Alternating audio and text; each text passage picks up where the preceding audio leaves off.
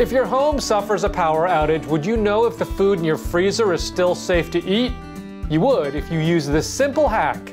Freeze a clear plastic cup of water and put a quarter on top. After an outage, check to make sure that the quarter is no lower than the middle of the cup.